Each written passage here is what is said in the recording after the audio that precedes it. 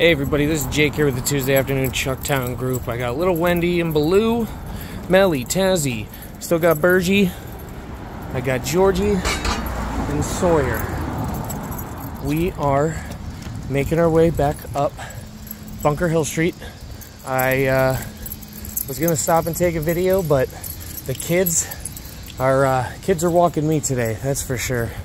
Uh, they're super excited to be out here in this nice weather, as am I. Um, we are uh, just making our way back to drop Melly off and then circle back and start our drop offs. Um, everybody's hitting their ones and twos along the way. We're all having a blast, having a good time with our friends.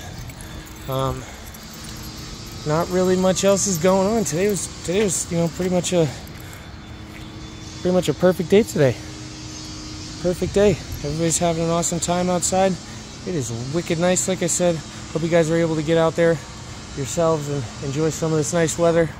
Uh, I think think we can safely say that springtime's finally here. So, uh, hope you guys are having having a good week so far, and uh, I'll see you next time. Take care.